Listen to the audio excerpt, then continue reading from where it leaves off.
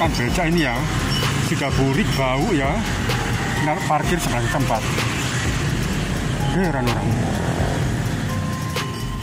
Aksi seorang pria menegur tukang beca yang parkir sembarangan dengan cara kurang sopan viral di media sosial.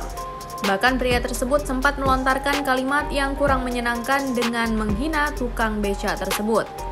Hal itu direkam dalam sebuah video yang kemudian diunggah oleh akun TikTok @robertjericho. Video itu kemudian diunggah ulang oleh akun Instagram @informasimalangan. Dalam video berdurasi pendek tersebut terlihat perekam akan berjalan di trotoar kawasan Masjid Sabilillah Malang, Jawa Timur. Namun di trotoar terlihat dua tukang becak memarkirkan becaknya dan tengah tertidur. Ia pun mencoba untuk menegur, tapi saat akan berjalan ke arah tukang becak, ia sempat terdengar melontarkan kalimat hinaan. Ia kemudian berhenti di depan seorang tukang becak berkemeja putih yang tengah tertidur pulas. Pria tersebut tampak mengagetkan tukang becak itu.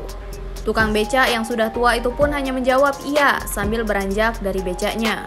Pria itu kemudian pergi dan melanjutkan berjalan. Unggahan tersebut pun mengundang beragam komentar dari warganet. Bukannya mendapat simpati, pria tersebut justru panen hujatan.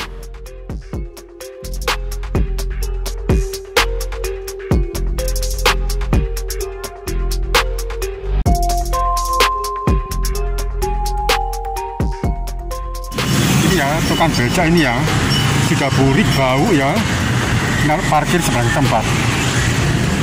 Heran orang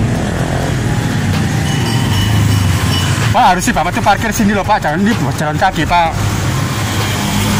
Parkir sini loh gimana sih? Heran orang. Parkir ini jalan kaki